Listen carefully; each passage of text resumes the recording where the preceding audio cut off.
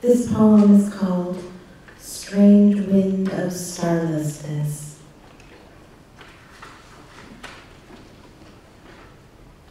I'm not trying to reach some divine ear.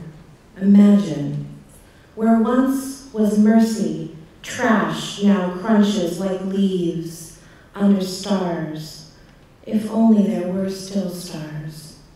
They understood my chatter as prayer, this air going nowhere, in the strange wind of starlessness. If some universal frequency synced to me like I was mic'd, I'd surely flub my lines, mumble, stutter, seem disrespectful and syntactically unstable. I divide my time between a fuzzy word averse, kinetic sadness, and being stunned into silence as a worldview. I don't ask for mercy anymore. Don't hang around that empty office like a good kid who gets in trouble with all the love she gives to get.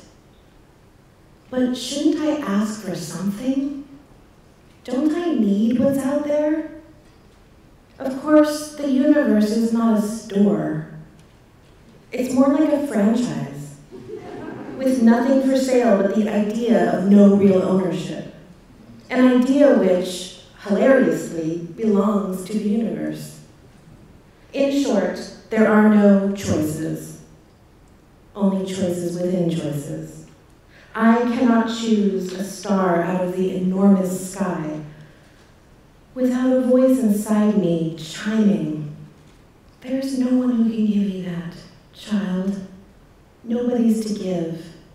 Like you're nobody's child, only child of your own lonely childhood.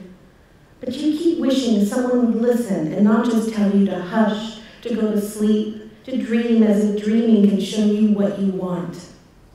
What words get in exchange for telling on us what we are, even what we think we don't think we are. I can't make up my mind. Make up someone to read it?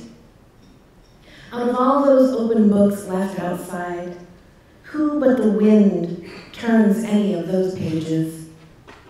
The wind. It knows me. I believe it does.